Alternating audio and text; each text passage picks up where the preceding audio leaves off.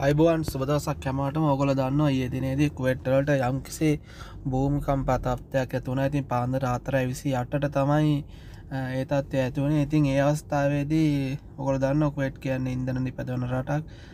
ඒ ඉන්දන නිපදන ස්ථාල ඇති තත්වය තමයි උඩ වීඩියගෙන් පෙන්නුම් කරලා තියෙන්නේ. ඉතින් ඔය සුපමාකට්ටල බඩු හෙම පෙල්ලිලා තියෙනවා.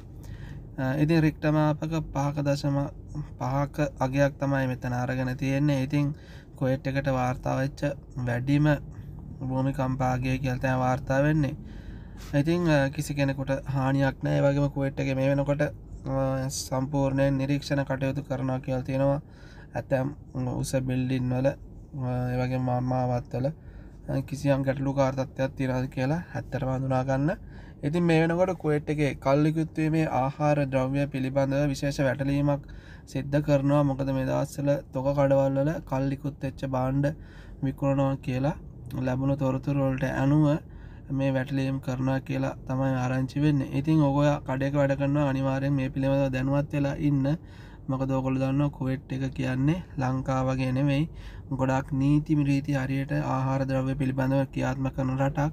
අනිවාරෙන් ඒවට නිසි දඩුවන් ලැබෙනවා. ඒවගේම පරවාණය ප්‍රදේශය කරපුලද වැටලීමකදී විස්සක් අත් අඩංගොට අරගෙන තියෙනවා. ඉතින් අකාම තිබිලා තියෙනවා.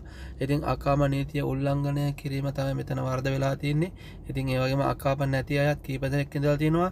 එක්ෙක් රටවල පුද්ගලින් මෙතන ඉඳලා තියෙන විශේෂයෙන් ඔයාට කාදම් අකාමකත්ති වෙලා ඔයාට එලිය වැඩ කරන්න බෑ. එකයින අනිවාරෙන් දැනගන්න. ඔයාට අකාමත් තිබුණත් එකයි.